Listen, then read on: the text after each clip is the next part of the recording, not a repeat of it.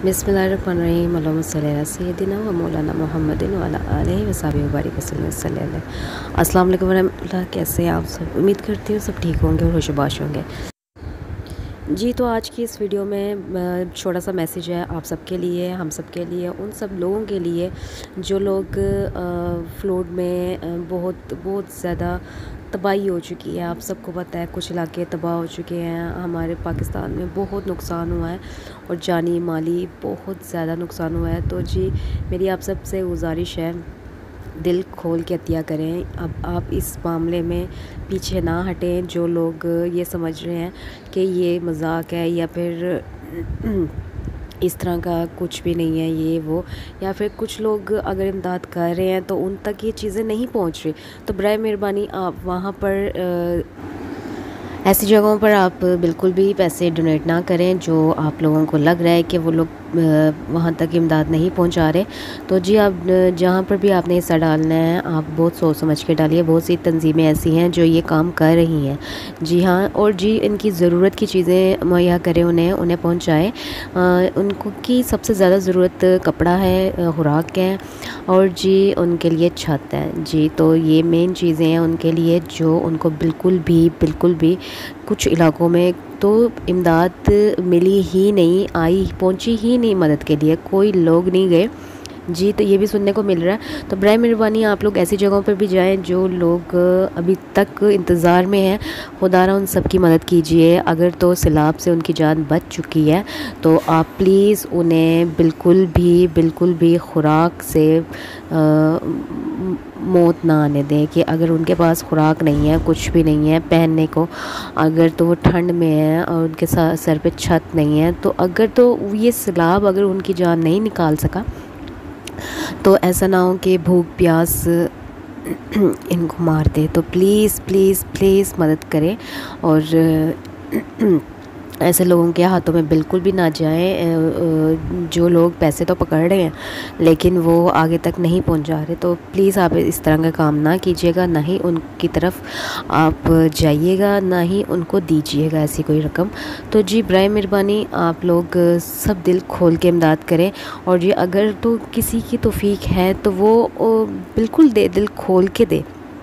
और जीत जो नहीं इतने इस्तात नहीं रखते जो लोग लेकिन इस्तात रख रखते हुए जो लोग आ, मैं ये समझती हूँ जो लोग इस्तात रखते हैं लेकिन उसके बावजूद वो लोग अपने यूज़ किए हुए कपड़े या अपने यूज़ जैसे कि वो यूज़ में है कपड़े, वो दे रहे हैं, अपने घर की चीज़ें दे रहे हैं तो वो ऐसा ना करें, वो अपने घर की चीज़ें तो ना दे। कम से कम मुझे इस बात का गिला है उन लोगों से, जिनके पास पैसा है, माशाल्लाह से, अल्लाह ने उन्हें अता किया हुआ इतना सारा, कि अगर वो लोग पचास लाख या दो लाख भी अगर वो दे देते हैं डोनेशन करते हैं, अगर न्यू चीज़ें ख़रीद कर परचेज़ करके वो देते हैं तो उनके लिए कोई बड़ी बात नहीं है।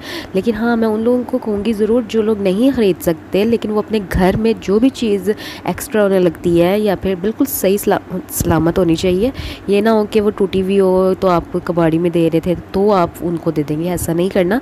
जो आप घर की चीज़ें इस्तेमाल कर रहे हैं, अगर किचन में कोई चीज़ एक्स्ट्रा आपकी है, बहुत सारी हमारे पतीले होते हैं, ऐसे नॉन स्टिक होते हैं हम स्पूनस होती हैं और जी प्लेटें भी होती हैं बहुत सारी, ऐसे डिनर सेट होते हैं किसी के पास। तो जी, ये सारी चीज़ें आप उन्हें डोनेट कर सकते हैं और दूसरी चीज़ ये, अगर कपड़े भी आपके पास न्यू आपकी वार्ड्रोप भरी पड़ी है तो आप बर मेहरबानी उसमें से भी आधा हिस्सा निकालें और ये सब आप उनको डोनेट करें। ये मैं उन लोगों की बात कर रही हूँ जो लोग इतना ख़रीद नहीं सकते, इतने पैसे नहीं लगा सकते। और दूसरी चीज़, जो लोग लगा सकते हैं, वो दिल खोल के लगाएँ, ये काम मत करें कि वो जी अपने घर से कपड़े उठाएँगे और वो जी दे देंगे। इस तरह मत करें, चाहे वो आपके ख़ुद के ही यूज़ करने वाले क्यों ना तो जी इस तरह ना करें बर मेहरबानी। लेकिन जो लोग बिल्कुल भी इस्तेदाद नहीं रखते, मैं उनके लिए भी कहूँगी, उन्होंने नीयत की थी तो अल्लाह जी हाँ अगर उन्होंने नीयत भी की है ना, थोड़ी सी भी नीयत की है कि हम अल्लाह अल्लाह इतना हमें दे दे या हमारे पास इतना होता कि हम भी इनकी मदद करते, उनके अंदर एहसास है। एहसास भी बहुत बड़ी चीज़ होती है। तो जी, अल्लाह वो उनकी नीयत को भी कबूल कर लेगा इन और बेशक करने वाला अल्लाह कबूल। जी, लेकिन जो लोग इस्तात रखते हैं, मैं उनसे एक बार फिर से गुजारिश करूँगी, मैं बस गुजारिश ही कर सकती हूँ। ज़ाहिर सी बात है आप लोग भी सोच रहे होंगे कि ये बातें तो कर रही है, लेकिन ख़ुद इसने पता नहीं किया या नहीं किया। तो जी, मैं ये चीज़ें बिल्कुल भी सामने नहीं लेकर आना चाहती। अलहमदिल्ला हमने, हम जितना कर सकते हैं, कर रहे हैं। और जी ये जो अगर सोशल मीडिया पे भी दिखाया जा रहा है अगर तो कुछ लोग अच्छा काम कर रहे हैं अगर आप आ, पैसे जमा करके लोगों से और जी वो बताना चाह रहे हैं कि हम अच्छी जगह और उसी जगह पर मुस्तक ही लोगों को पहुँचा रहे हैं। तो ये बहुत अच्छी बात है। आप लोगों को पॉजिटिव तरीके से सोचा करें नेगेटिव नहीं। तो जी बस मेरा एक ये छोटा सा मैसेज था तो उम्मीद करती हूँ आपको ये वीडियो पसंद आई होगी। और जी, इसे ज़्यादा से ज़्यादा शेयर करें ताकि आपके तफसुस से कि दूसरों का भला हो जाए। जी।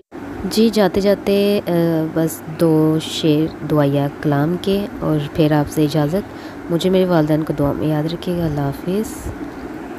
मेरे मौला मौला मौला, मेरे मौला मौला मौला, मेरे मौला मौला मौला, मेरे मौला मौला मौला, मेरे मौला, करम हो, करम। मेरे मौला, करम हो, करम।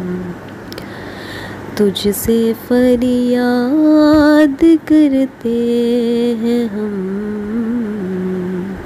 मेरे मौला करम हो करम। मेरे मौला मौला मौला, मेरे मौला मौला मौला। बेकसों को सहारा मिले। डूबतों को किनारा मिले। सर से तूफ़ान पल में टले। जो तेरा एक इशारा मिले। तू जो कर दे मेहरबानियाँ।